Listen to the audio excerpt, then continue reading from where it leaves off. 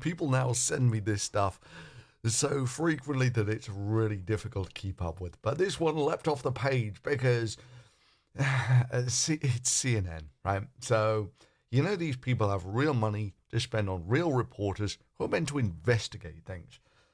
And what do they come up with? This 13 year old scientist, odd, I didn't really think there were any 13 year old scientists, may have designed a better version of the Hyperloop from Francesca Street and CNN. And look, there's an awesome, awesome picture, an engineering sketch of, what this new improved Hyperloop's going to look like, which is um, the, something? CNN. Several rival companies may be hard at work trying to get Elon Musk's Hyperloop concept off the ground, but hurtling across the country, maybe even across continents. They can't even get it to hurtle to the end of the block, and they certainly can't get it to carry people at 600 miles per hour in low pressure steel tubes. Uh, it still feels far from reality. Remember the steel tubes thing, that's going to come back in a second. But the 13 year old New York student Caroline Crouchley may have invented a more economically viable and eco friendly Hyperloop solution. Really? You don't think you might be overselling this? A 13 year old has come up with something that that wasn't. Ah, anyway, Crouchley's idea just won second place in the annual 3M Young Scientists Challenge to build pneumatic tubes next to existing tracks. Right? So, uh, yeah, one of the best uh, plans that you ever have with a railway. It's the land ish, the land rights are a big problem. So building things on parallel lines is actually a sensible enough idea, but building pneumatic tubes next to regular tracks for what purpose? Magnetic shuttles would travel through these vacuum tubes. Okay, so that would be the Hyperloop, connected via magnetic arms to trains traveling on existing tracks. So how does that help you even in the slightest? I mean, what what you've got a working hyperloop?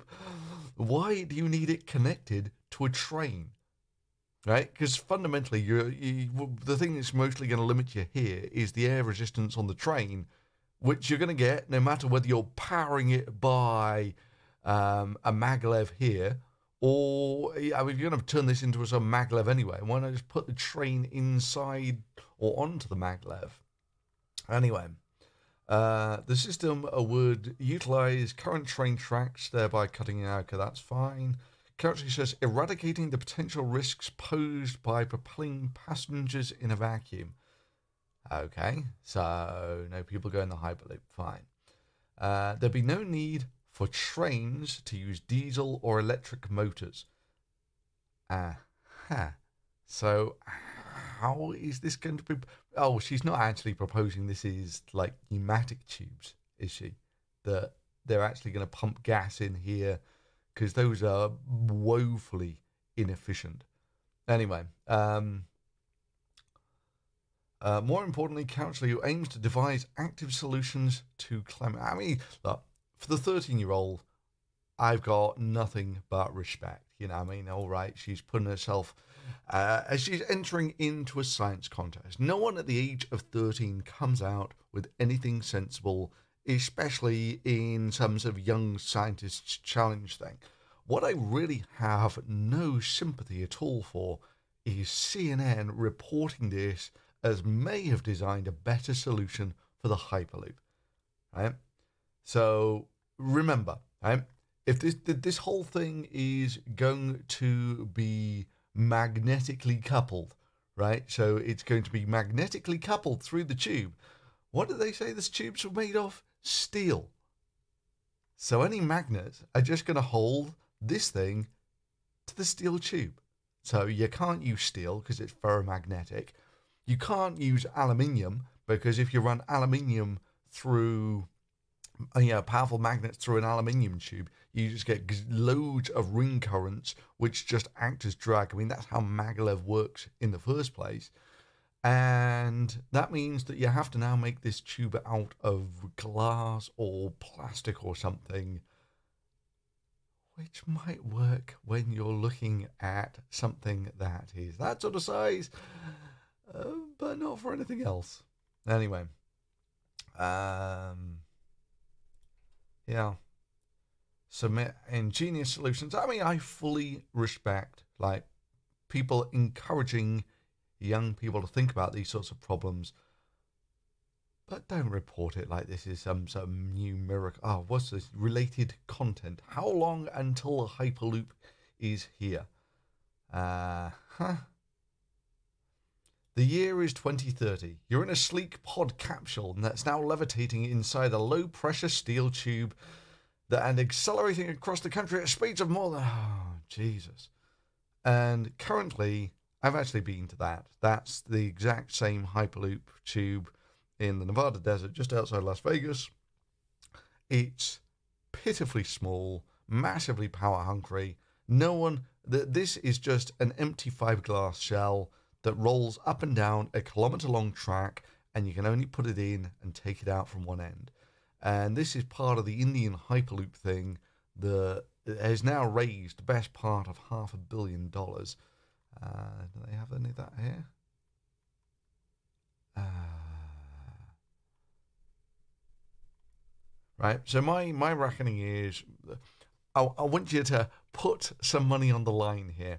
Uh, who thinks that Hyperloop will end up becoming a bigger money sink than Theranos? So Theranos raised about ooh, it was almost ten billion dollars in the end for a promise of this magical blood test where you gave someone a drop of your blood and it told you everything you needed to know about that person. Um, and none of it ever worked. And there are fairly simple reasons why none of it ever worked. You know, kind of like this. And this has already raised half a billion dollars. So, will this, in the end, end up blowing more money than Theranos or burning more money? I see there's one other thing that I wanted to point out. Uh, she got inspiration, did a lot of research on the design of the Hyperloop and the maglev, and put uh, my design on paper in Autodesk Inventor. Now, I was kind of curious about that because I'm always sort of interested in software packages that people might be using, and you know if they're free, if they're useful, that sort of thing. Um, never heard of Autodesk Inventor, so obviously the first thing I do is I look up Autodesk Inventor and find out it's two thousand dollars per year, um, and uh, let's see what sort of thing you can do with Autodesk Inventor. You need Autodesk yeah, Inventor Autodesk at the heart of job done fast. Interruptions yeah, are removed, okay. repetitive so tasks are eliminated, and the performance of Inventor means your ideas come to life wise. quickly. Yeah, uh, fairly impressive CAD designer. And all right, she's 13.